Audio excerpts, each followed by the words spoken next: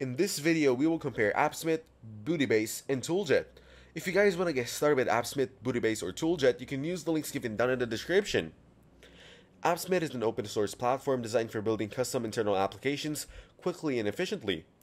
One of its standout features is the ability to customize the look of applications using JavaScript, giving flexibility in design and functionality. It offers several pricing plans per month, including a free plan, the business plan at $40, and the enterprise plan after contacting them.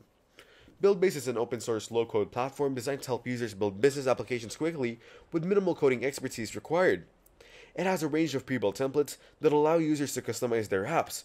It offers a free plan, a premium plan at $50 per creator, and enterprise after contacting.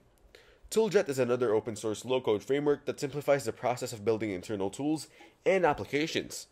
It focuses on rapid development for teams that need to deliver internal tools quickly.